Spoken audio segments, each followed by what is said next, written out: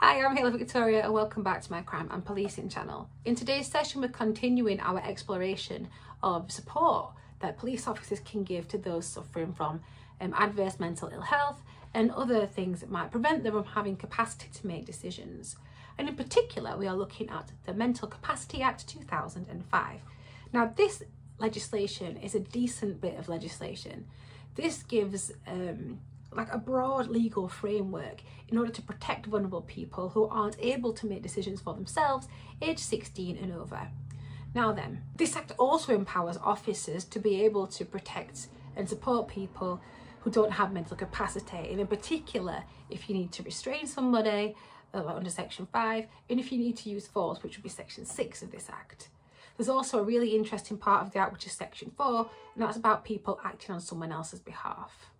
Okay, let's get cracking. So what does mental capacity actually mean then? Well, when you've got mental capacity, that means you are able to make decisions for yourself. You can decide when, where, what, how you do everything. But sometimes people don't have mental capacity to make decisions. And this can be because of a number of reasons.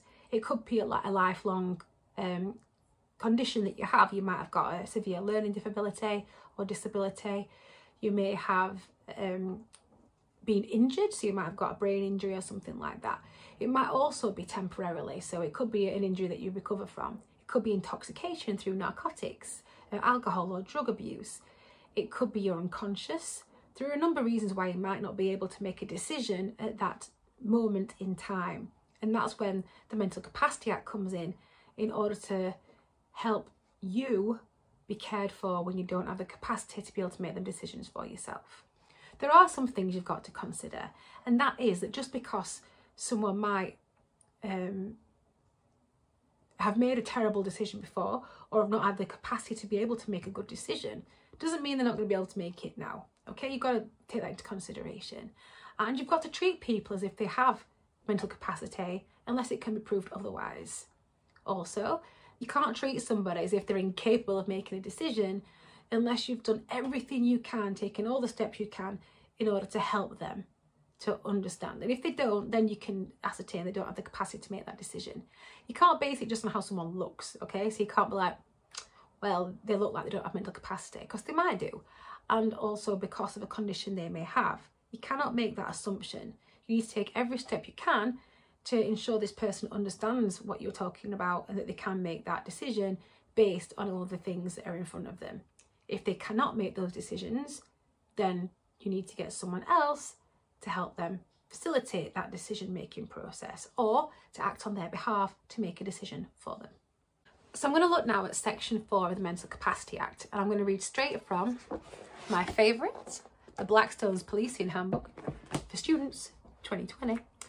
And this is all about um, section 4 and it says, under section 4 of the MCA, which is the Mental Capacity Act, the decision made by any subsequent action must be in the person's best interests. They must be encouraged to participate as fully as possible in any act or decision and all reasonably practicable steps should be taken to achieve this. The likelihood of the person having the capacity at some point in the future must be considered and if there is no immediate need to make a particular decision and they're likely to regain the capacity to make that decision, then it should be delayed until they've recovered sufficiently. If the person cannot make decisions and therefore lacks capacity, a decision might need to be made on their behalf. As far as possible, the person's wishes and feelings should be considered, especially their usual beliefs and values, if, if they are known, obviously. The views of the following people should also be taken into account. So that's their carer, anyone else they would like to be consulted, so they might be asking you to talk to somebody else, talk to my partner, whatever, my dad, anyone with the power of attorney or deputy appointed by a court. Actions carried out in connection with the care or treatment of a person do not incur any liability if prior to those acts reasonable steps were taken to establish that the person lacked capacity and it was reasonably believed that the actions were in the person's best interests. If a decision relates to life-sustaining treatment, any consideration that it would be better if the person was allowed to die should be avoided. That's quite a serious one, that bit. So if actions are resisted, so despite efforts to communicate and encourage participation, then you, you could use restraint, but it needs to be as minimal as possible. Um, and as you know, proportional, and that's under Section 6 of this Act. Um, that includes force or threatening to use it in order to apply care or treatment and restrict a person's liberty of movement, whether or not they resist. It does not include depriving a person of their liberty or contravening the decision made by a court or a person with a relevant power of attorney. So it's all quite serious, isn't it? But it's all about the person's best interests. If you are unconscious, someone has to make a decision for you. That's just how it is. Um, if they suspect that you might be coming around soon, and you know it's temporarily, then they might wait until you can make that decision yourself. But somebody with your best interests will make that decision if you're unable to make the decision at the time. And those decisions that make need to be like the least kind of um, interfering with your normal life as possible and interfering with your rights as little as possible. So we're now going to look at what if somebody is being treated badly who lacks mental capacity and this does happen and it is terrible. Um, so some people have particular caring or legal responsibilities to care for somebody else who lacks mental capacity. And they might also have power of attorney, so they're the ones that make decisions about everything. Um, you know, your house, your finances, all that kind of stuff. And with that come some bad eggs sometimes. And um, obviously, when we find out that stuff like this happening, then we have bits legislation to protect those vulnerable people. And we're looking at Section 44 of the Mental Capacity Act 2005. And that's where it's an offence for any such carer or responsible person to ill treat or willfully neglect a person. This includes physical, psychological, financial, domestic, discriminatory, and sexual abuse. That is an offence. And it's quite a big one as well. So it is a triable either way offence. And as you know, either way means it either goes to the magistrates or you go to the Crown Court. And that depends on the severity of the crime. So if you go through the magistrates, you're looking at uh, six months in prison and or a 12 month fine. And if you go to the Crown Court, which is a big one, you're looking at five years on indictment. So looking after people and vulnerable members of our society is massively important for police officers. And I know some people might be like, oh wow, shouldn't we be out, you know, catching criminals and all this stuff. But remember what uh, Sir Robert Peel said, that the police are the community and the community are the police and protecting people is a big part of your job. And if you can help make sure that the most vulnerable members of our society are looked after, then you're doing a fantastic job. And, you know, you should always strive for empathy, always strive to help other people. And another one of the um, Peelian principles is number nine, which is my favourite, where it's not, you know, it's the absence of crime and stuff on the streets that prove that um, the police are doing a good job not seeing lots of police officers out there arresting people. It's the absence of crime disorder. So you're doing a fantastic job. Remember to care for other people because we are all human and it doesn't matter whether somebody is having a particularly bad time. It doesn't make them any less human than you are. And for whatever reason they lack mental capacity, they need support, not to be dehumanized. I'm going to talk about a case which is um, quite hard hitting and terrible, absolutely terrible case. And this was back in the 70s, so a pre-pace now. And I know that like when I say pre-pace, I feel like I'm talking about something that was like prehistoric, but it kind of is in terms of the progression that we've made in policing over the last 50 or so years. God, I can't believe the 70s was that long ago. Wow. Anyway, it was in 1975 when this crime happened and it, it shook the nation because it was horrendous. The crime I'm talking about is the murder of Lesley Susan Molseed, 11 years old. Um, she was kind of short for her age, very dainty, and she'd gone to the shop to buy some bread and never returned. And back in the 1970s and 80s, you would just go to the shop for your parents. My mum used to send me to the shop to buy a fags when I was a kid. Um, it's all right because that shop's closed down now, so they won't get in trouble. Um, yeah, so she'd gone to the shop to buy bread and she never came home. Obviously, they went out searching for her and, and they found Lesley dead she'd been murdered and um, there was like semen on her underwear. So she'd been attacked and murdered.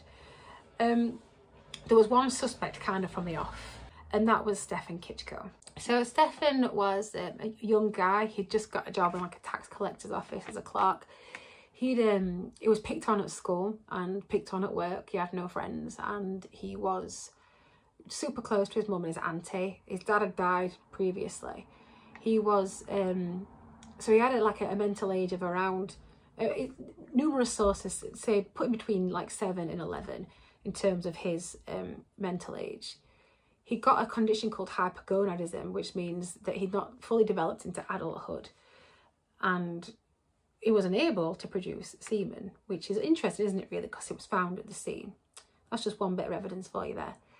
Um, so he was kind of the main suspect from the off, and that's because it was kind of dubbed as like the local odd person because in terms of the social contract, he acted slightly outside of that, deviated from that because he was different.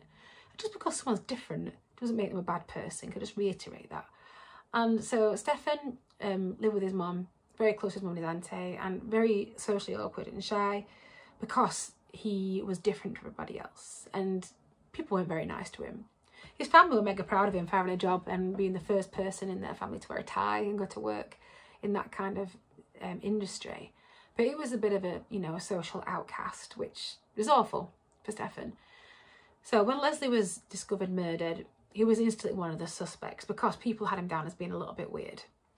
And some schoolgirls came out and said, oh yeah, this guy, he, um, he flashed at us. And he didn't, by the way. They just lied to um, for a laugh, apparently. They, did come clean eventually they didn't do that. And the police um, had got it in the head that it was him, even though lots of evidence pointed that it wasn't him. And like I said, this is pre-Pace. So what they did is they arrested Stefan and questioned him for a long, long time in police custody. And like I said, this is pre-Pace, so they treated him terribly. Um, hours and hours and hours of questioning. And it wasn't the nice question you get now.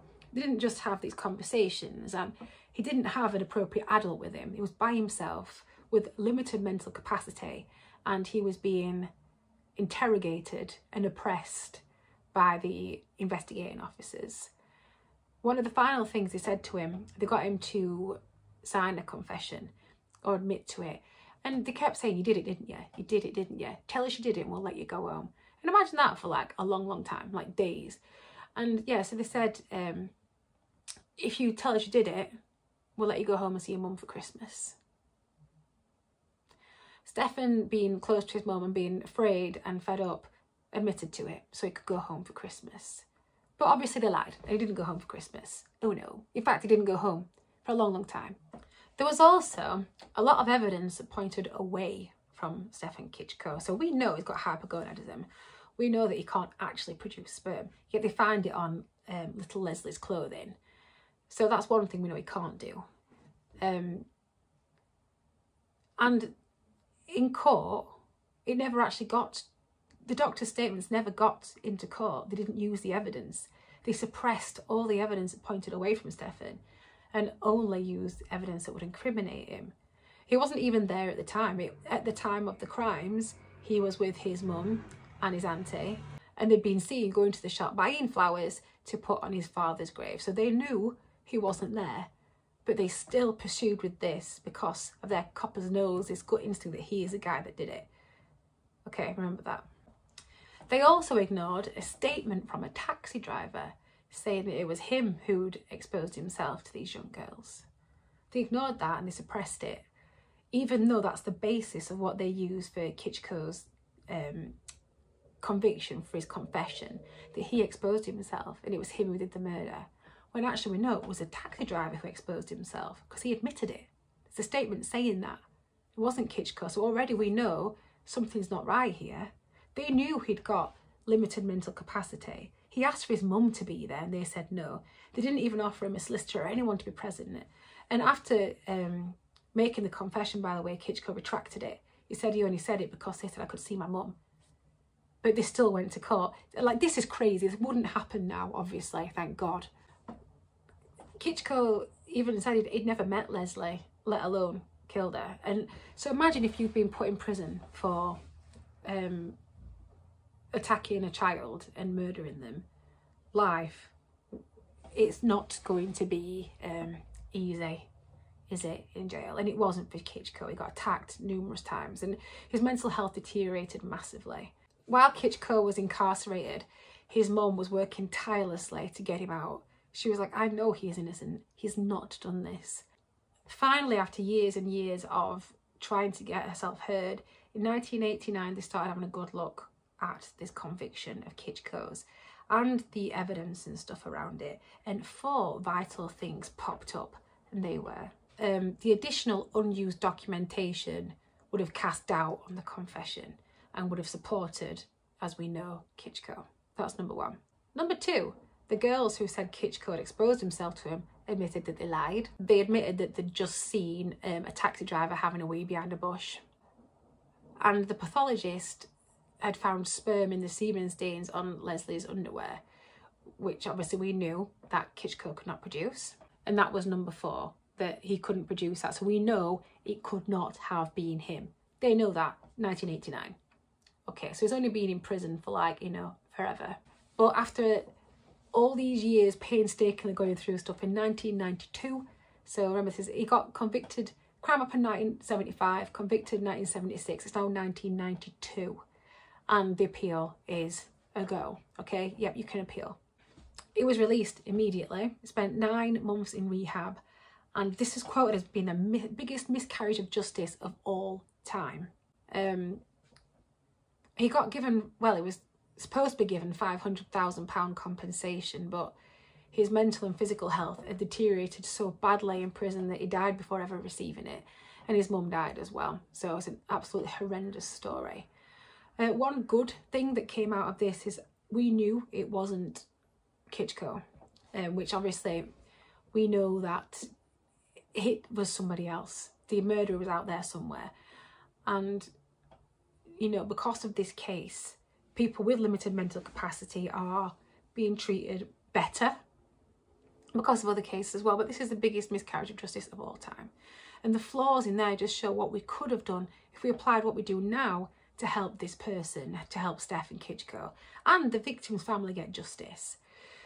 We know now that it was actually Ronald Castree who committed the offence. So he was uh, arrested but not charged with a sex attack in 2005 and they took a sample from him and they ran that sample through the databases and guess what? A direct hit to the um, sample taken from Lesley's um, clothing, Lesley Molseed's clothing. So he'd been free for 31 years and another man had sat in prison in his place. Um, so yeah, he has been obviously arrested now. But yeah, for 31 years he was out attacking other people. And it took 31 years to get justice for Lesley Susan Molseed's family. And it took 16 years liberty away from somebody else and ultimately led to him and his mother's early deaths. So to avoid all of that, what we do is we do proper investigations, we look at evidence, and if that leads away from an investigation, so be it.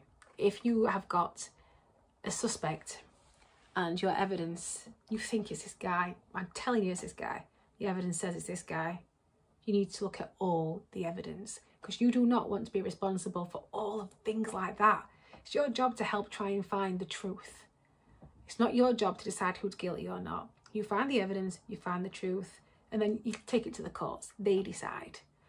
You've got to make sure that you leave no stone unturned when you're investigating stuff and you're totally honest and disclose everything.